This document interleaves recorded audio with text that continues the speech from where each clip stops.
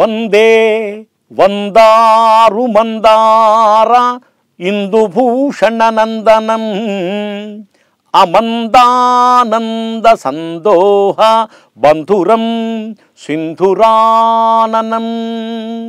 బంధురం సింధురాననం. సర్వపాపహరం పుణ్యము స్నానం కార్తీక సంభవం నిర్విఘ్నం కురు మే దేవా దామోదర నమోస్తుతే దామోదర నమోస్తుతే ఈ కార్తీక మాసానికే ప్రవరమాసం దామోదర మాసం అనేటువంటి పేర్లు కూడా ఉన్నాయి. మనం కార్తీక మాసం కృత్తికా నక్షత్రంతో కూడినటువంటిది కాబట్టి కార్తీక మాసం. పౌర్ణమి నాడు కృత్తికా నక్షత్రం ఉంటుంది. అదీ కాకుండా కార్తీక మాస పౌర్ణమికి ఒక విశిష్టత ఉంది. కార్తీక పౌర్ణమి నాడు అమృత కిరణములు కలిగినటువంటి వాడవుతాడు చంద్రుడు. ఆ కిరణములు భూమిపైన ప్రసరించడం చేత వృక్షలతాదులన్నీ కూడా చక్కగా పెరిగి ఫలములతో సమృద్ధిగా ఉంటాయి. అమృత కిరణుడు అని పేరు కదండి చంద్రుడికి. చంద్రుడు అత్యంత పరిపూర్ణంగా ఆనందంగా ఆహ్లాదంగా ఉండేటువంటి కాలం శరత్కాలం. అందునే కార్తీక పౌర్ణిమ చాలా విశేషము అని చెప్పి అంటారు. అటువంటి కార్తీక మాసంలో పాపహరమైనటువంటి స్నానాన్ని ఎవరైతే చేస్తారో వాళ్ళు పుణ్యవంతులవుతారయ్యా దామోదరుని యొక్క అనుగ్రహం వల్ల. దామోదరుడు అంటే కృష్ణుడు అనేటువంటి అర్థం. దామము అంటే దండ మత్స. దామం దండ ఎంతవరకు ఉండాలుట? దండలు వేసేటప్పుడు కూడా భగవంతుడికి జాగ్రత్తగా ఉండాలి. ఎందుకంటే కిరీటం వరకు వేస్తాం. అది కాస్త అదొక మాల. కంఠమాల ఉదరమాల వనమాల. ఇటువంటి మాలలు రకరకాలుగా ఉంటాయి. శిరోమాల శిరములకు చుడుతూ ఉంటారు. కంఠమాల అంటే కంఠం వరకు వేస్తారు. ఉదరమాల అంటే మన యొక్క పొట్ట వరకు వేస్తూ ఉంటారు. వనమాల అంటే కాళ్ళ దాకా వేస్తుంటూ ఉంటారు. ఇట్ట మాలలు అనేక రకాలుగా ఉంటాయి. అట్టగే కృష్ణ పరమాత్మ నిత్యం మాలతో ఉంటాడు ఆయన మహానుభావుడు. పుష్పై దేవా ప్రసీదంతి పుష్పముల చేత దేవతలు చక్కగా అనుగ్రహిస్తారు అంటుంది పుష్పచింతామణి. అందుకని దివ్య పుష్పమాలలతో విరాజిల్లుతుంటాడు కృష్ణ పరమాత్మ మెడలో దండ తలపైన పింఛం. అవునా? ఆ దామోదరుని యొక్క అనుగ్రహం కార్తీక మాసంలో అందరికీ కలుగుతుంది. ఓ జనక మహారాజా ఈ కార్తీక మాసంలో ఎవరైతే తాంబూలం ఇస్తారో వాళ్ళు రాజయోగం కలిగిన వాళ్ళు అవుతారు. ఎవరైతే పచ్చటి ఆకులో ఫలము పెట్టి చక్కగా ఒక్కను పెట్టి యథాశక్తిగా దక్షిణ ఇచ్చినటువంటి వాళ్ళు చక్రవర్తిగా జన్మిస్తారయ్యా. నెల రోజుల పాటు తులసికోట దగ్గర శుభ్రపరిచి తులసికోటలో దీపం పెట్టినటువంటి వాళ్ళు కాంతిమంతులవుతారు. ఆ ఇళ్ళలో విద్యావంతులైనటువంటి కుమారులు పుడతారు భర్తృ సౌఖ్యం కలుగుతుంది. కార్తీక పౌర్ణమి రోజున శివాలయం కానీ విష్ణాలయం కానీ దీపం పెట్టి ధూపదీప నైవేద్యాలు సమర్పించి బ్రాహ్మణులకు దక్షిణ తాంబూలములతో పాటు అన్నదానం చేసేటువంటి వాళ్ళ యొక్క వంశం ఆచంద్రార్కము కూడా ప్రకాశిస్తూ ఉంటుంది. ఇదే కాకుండా ఇంకో గొప్పతనం ఉందయ్యా. అది ఏమిటయ్యా అంటే తులాయాం తిలతైలేనా సాయంకాలే సమాగతే ఆకాశదీపం యో దద్యాత్ మాసమేకం హరిం ప్రతి. కార్తీక మాసం అనగానే గుళ్ళు కళకళలాడుతుంటాయి దేవాలయాలు విష్ణాలయం కానీ శివాలయం కానీ.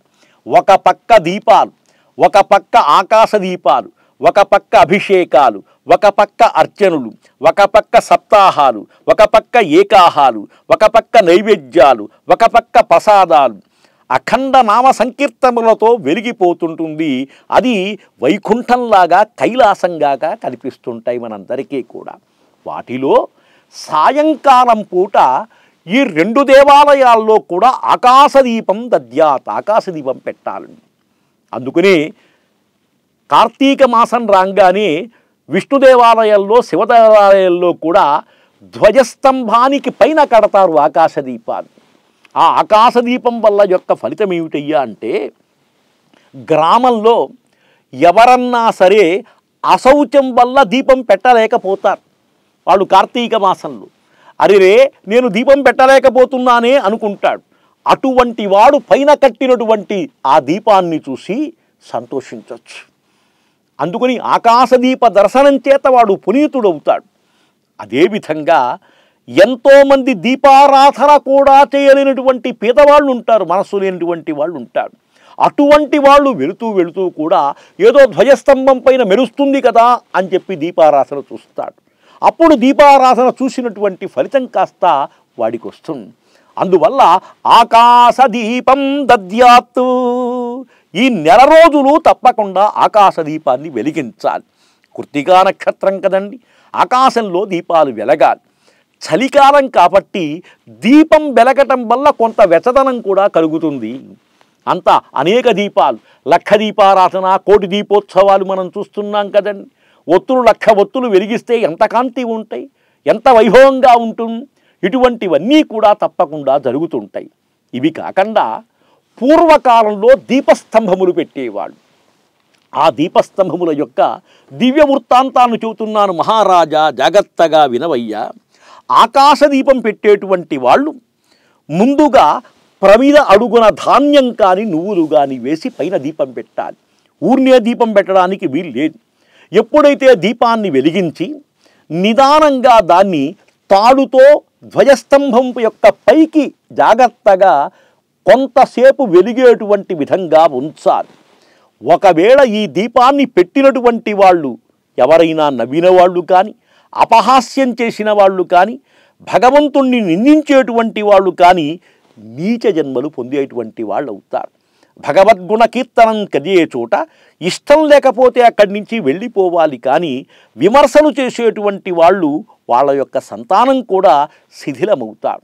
వీడు చేసినటువంటి పాపానికి ఆ వంశం కాస్త రకరకాలైనటువంటి బాధలు పడుతూ ఉంటుంది. అందువల్ల మహారాజా ఆకాశదీపం స్తంభదీపం పెట్టడం వల్ల కలిగేటువంటి పుణ్య ఫలితాన్ని చెబుతున్నాను విను జాగ్రత్తగా. పూర్వకాలంలో మతంగుడు అనేటువంటి ఒక గొప్ప మహర్షి ఉండేటువంటి వాడు. ఆయన అనేక మంది శిష్యులతో ఆ తీర ప్రాంతంలో సరస్వతీ నది యొక్క ప్రాంతంలో కూడా చరిస్తూ ఉండేవాడు. ఆశ్రమం నిర్మించుకొని నిత్యం పూజా కైంకర్యాలు చేస్తూ ఏ దేవుణ్ణి ఎప్పుడు పూజించాలి ఏ మాసంలో ఎవరిని పూజించాలి అనేటువంటి సద్భావంతో ఉంటే మతంగుని యొక్క శిష్యులు మతంగుడితో పాటు ఉండేటువంటి సహజరవనమంతా కూడా ఆ ప్రాంతంలో నివసిస్తూ ఇతను చెప్పినటువంటి మాటలు వినేటువంటి వాడు. రోజూ కూడా సత్సంగ కార్యక్రమం జరిగింది.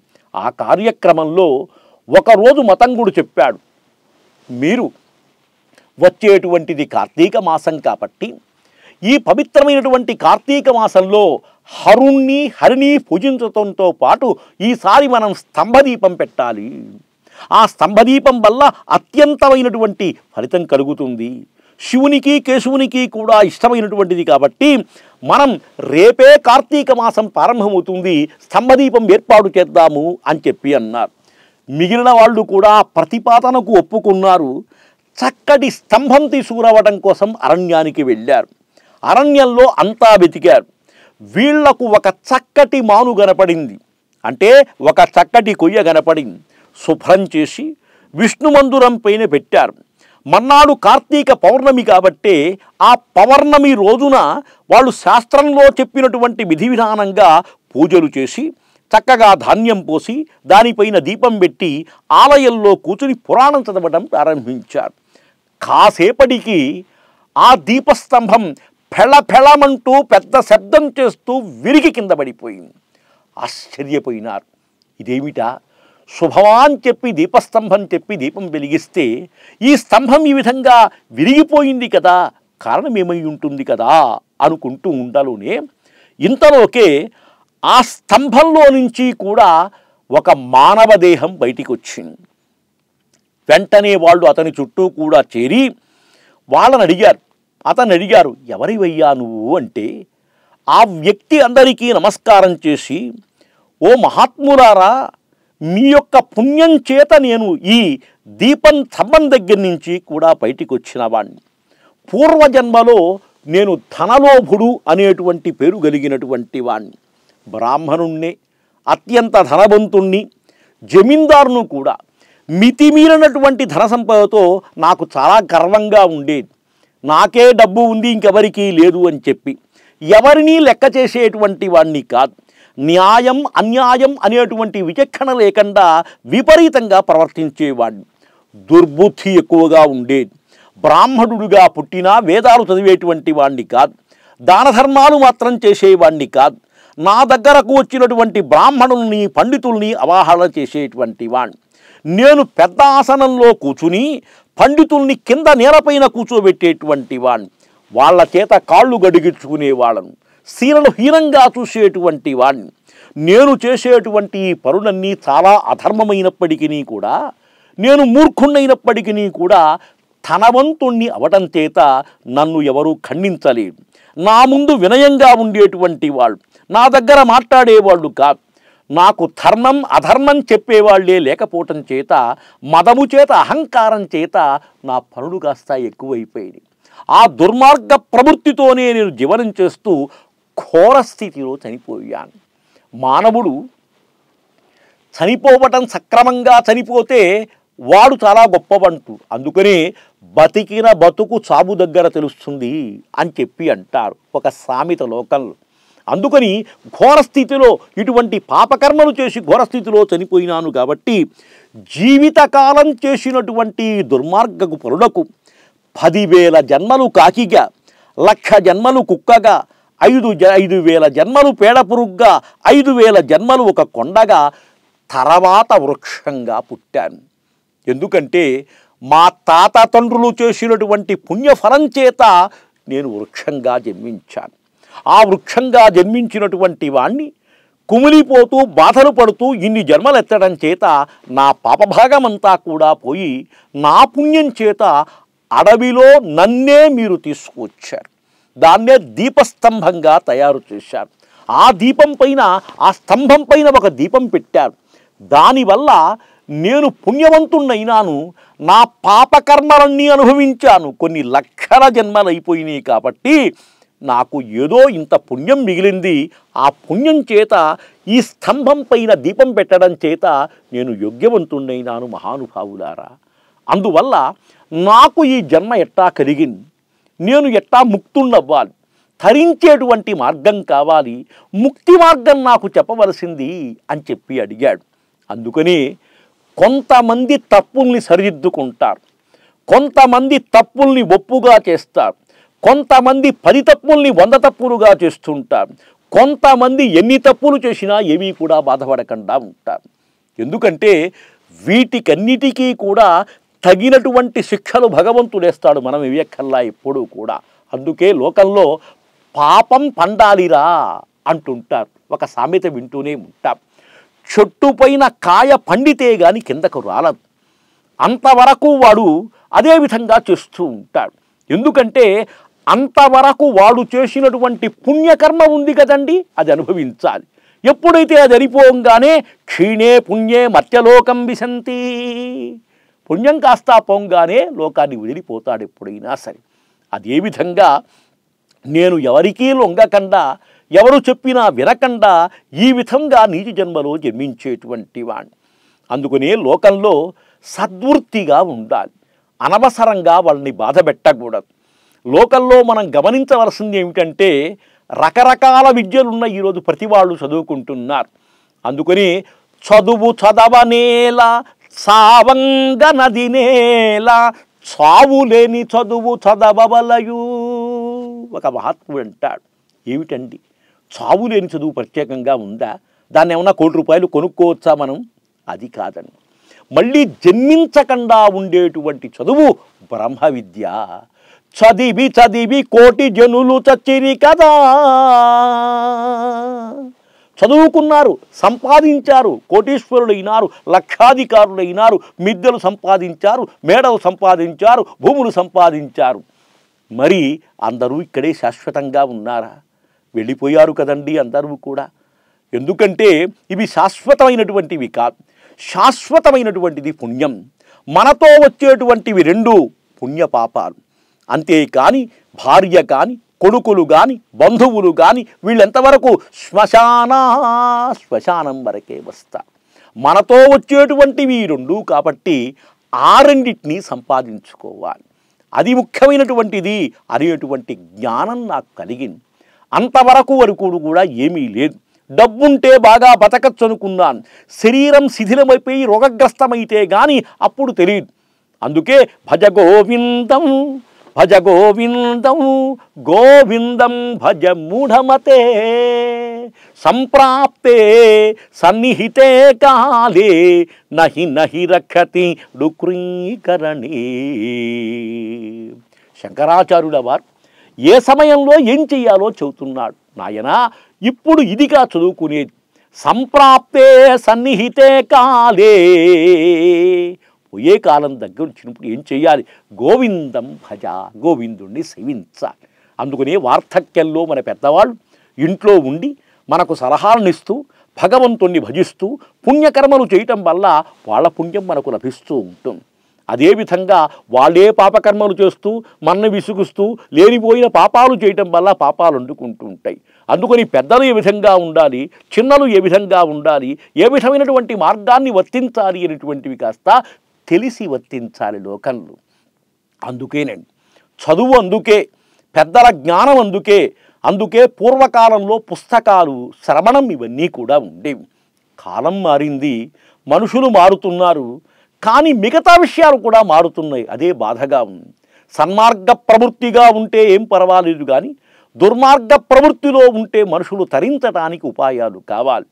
అటువంటి పుణ్యప్రదమైనటువంటి కార్తీక మాసంలో అతను అడిగాడు తనలోపుడు అడిగాడు ఓ మహామౌని వర్యులారా ఇంతమంది మురులు ఉన్నారు ఇక్కడ మీరు నేను తరించేటువంటి ఉపాయాన్ని చెప్పండి. కర్మబంధాన్ని ఏ విధంగా వదిలించుకోవాలి అని చెప్పి అడిగినప్పుడు వాళ్ళంతా అన్నారు నాయన ధనలోభ ఈ విషయాన్ని చెప్పగలిగినటువంటి వాడు అంగిరసుడు మాత్రమే. ఆయనకు మాత్రమే తెలుసు కానీ మిగతా వాళ్ళెవరూ కూడా చేయలేరు. అందువల్ల నీవు ఆంగిరసుడు అనేటువంటి మహర్షి దగ్గరకు వెళ్ళి ఈ కర్మబంధ విముక్తి అనేటువంటి మార్గాన్ని గురించి తెలుసుకో నాయన. ఎందుకంటే ఒక సన్మార్గంలోకి ప్రవర్తించావు కాబట్టి ఆ మార్గమే నీకు దారి చూపుతుంది. మా అందరికీ నీకు కూడా చెప్పగలిగినటువంటి వాడు ఒక ఆ మహర్షి అంగిరసుడు ఉన్నాడు. అతని దగ్గరకు వెళ్ళి కర్తవ్య దీక్షతో నువ్వు ఏం చెయ్యాలో ఏం చెయ్యకూడదు? ఎటువంటి కర్మలు చేశావో? దానికి ప్రతికృతి ఎట్టా ఉంటుందో ప్రాయశ్చిత్త కర్మలతో కూడా చేస్తే నువ్వు ముక్తుడవుతావు అని చెప్పి ముక్త కంఠంతో చెప్పారు ఋషులంతా కూడా. ఆ మాటను విన్నటువంటి వాడై అతను అంగీరసుడు దగ్గరకు వెళ్ళటానికి బయలుదేరాడు. ఓ మహారాజా విన్నావు కదా?